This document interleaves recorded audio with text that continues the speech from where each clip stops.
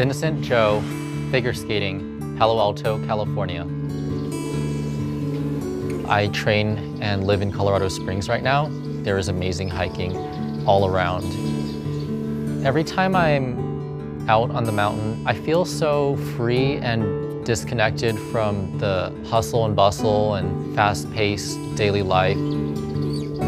It's like just me and nature and just one foot in front of the other, just keep pushing forward. Climbing mountains and stuff is a good metaphor for the climb to success. Quad Salchow, triple toe loop. Oh. Each elite athlete has their own journey and has to overcome obstacles and struggle greatly to achieve the things they have. Bigger and cleaner than I've seen from him in a long time.